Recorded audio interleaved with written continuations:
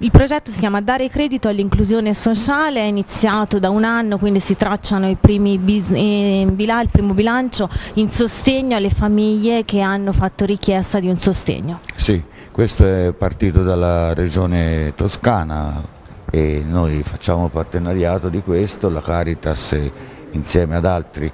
che ora vi spiegherà. E ecco, io credo che questo sia veramente un modo nuovo, bello, eh, di solidarietà, di sostegno a tante famiglie. Quello che colpisce, poi sentirete i dati, è il fatto che quasi il 70% sono tutti italiani e residenti nel nostro territorio. Ecco. La maggior parte chiede aiuto per quanto riguarda le esigenze legate a un'abitazione, un tetto sopra la testa, insomma. Eh, insomma anche sostegno per certe necessità urgenti che capitano, hanno, non hanno la possibilità immediata di poter eh, usufruire di, di denaro per queste soluzioni.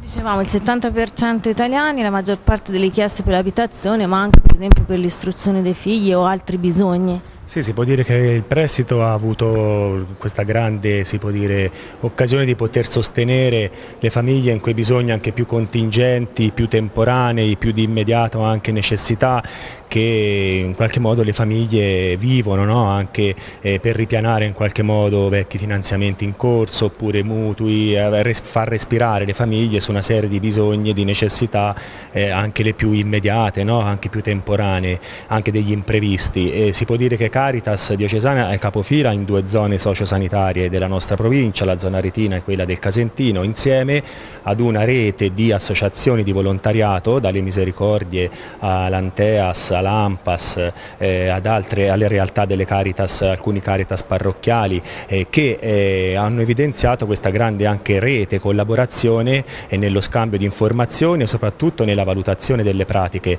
Eh, molto importante è stata questa attenzione, questa attenta lettura anche a, eh, alle, alle, condizioni, agli accessi, ai requisiti che le persone possono avere, quindi è stato un bel modo di condividere anche con queste associazioni lo, lo, lo scambio e anche arrivare poi a delle soluzioni concrete rete.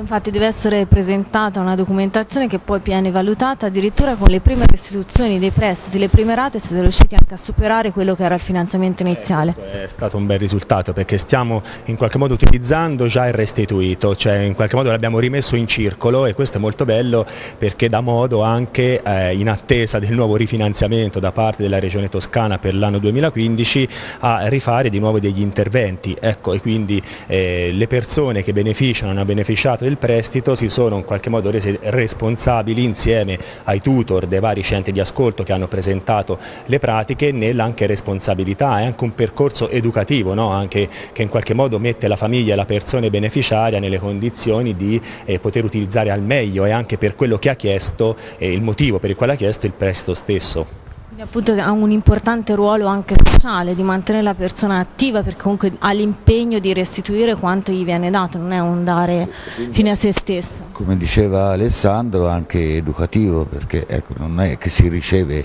e sciupi,